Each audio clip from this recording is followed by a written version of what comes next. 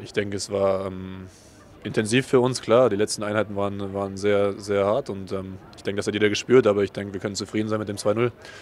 Ähm, spielerisch war klar noch Luft nach oben, aber ich denke, ähm, das werden wir über die nächsten Einheiten reinbekommen und äh, wenn die Sicherheit dann da ist, dann kommt das auch von allein. Klar, es ist Luft noch nach oben, aber gerade das zweite Tor war aus einem klaren Muster dann auch heraus, was uns wichtig ist, dann ähm, Dinge aufzulösen von hinten heraus und dann im richtigen Moment tief zu spielen. Da haben wir ein gutes Freilaufverhalten gehabt, dann auch ein guter Ball von äh, Ronny Gabriel auf GP Mateta.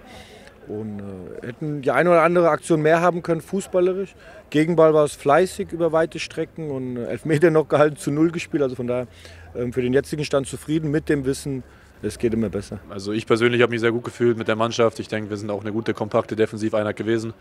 Und ähm, ja, das muss unser Ziel sein, ähm, defensiv gut stehen, ähm, äh, Umschaltfußball zu spielen, aber dann eben hinten raus auch noch äh, Fußball zu spielen. Und ähm, ja, das kommt, denke ich, über die nächsten Wochen. Es war natürlich ein intensives Spiel gegen eine äh, spielerisch gute, gute Mannschaft. Ähm, spanische Mannschaften sind immer, denke ich, technisch versiert, äh, haben, hatten auch viel Ballbesitz, weil wir auch ähm, ja, manchmal zu spät am Ball gekommen sind. Und, äh, aber trotzdem haben wir immer versucht zu pressen was auch uns äh, aber oft gelungen ist. Wir hatten schon ein paar intensive Tage, ist ja klar. Auch die Beine waren, sag ich mal, ein bisschen, bisschen müde, aber das äh, soll natürlich nichts heißen.